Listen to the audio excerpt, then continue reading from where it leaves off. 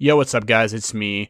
And in this video, I just want to talk about how I changed my name from DeathPro98 Gaming to DeathPro98. Yeah, not really a big change, but I decided to change my name on YouTube to that just to make it easier. So that way, when people ask for what my YouTube channel name, when I mention it, I can just tell them DeathPro98 instead of the whole DeathPro98 gaming thing. It's just a lot easier.